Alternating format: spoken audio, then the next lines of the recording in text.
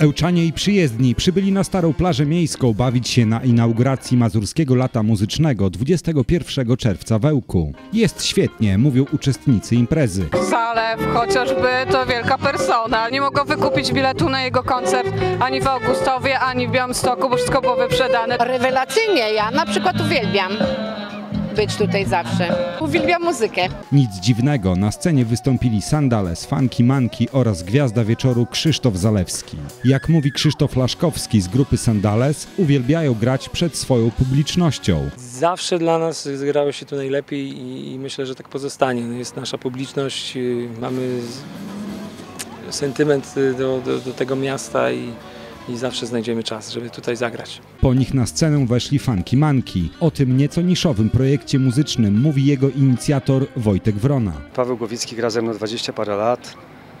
Mm, Rzadko mi się zdarza grać z lepszym basistą.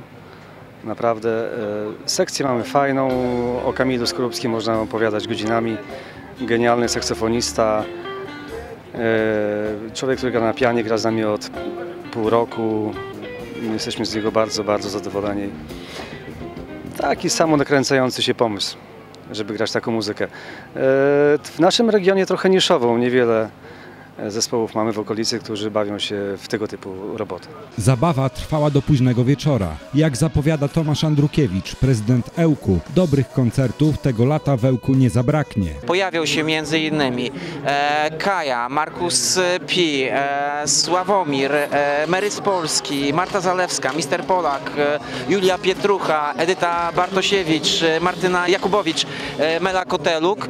E, będziemy mogli posłuchać muzyki latynoskiej w czasie Latin Festival Ełk, ale także e, e, muzyki hip-hop e, w ramach hip-hop raport Ełk Nie tylko występy zespołów muzycznych umilać będą wakacyjny czas. Będą imprezy biegowe, będą, będzie jak zwykle mazurskie lato e, balonowe, będzie aquafiesta i już niebawem będzie tradycyjnie turniej e, streetballu, na który bardzo serdecznie zapraszam. Będzie 5-10-15, e, będą e, wyścigi rowerowe MTB wspólnie z Czarkiem Zamaną i nową imprezę, którą e, mamy nadzieję w tym roku uda się nam zorganizować grillowanie na byle czym. Mazurskie Lato Muzyczne jest imprezą sfinansowaną z budżetu miasta Ełku.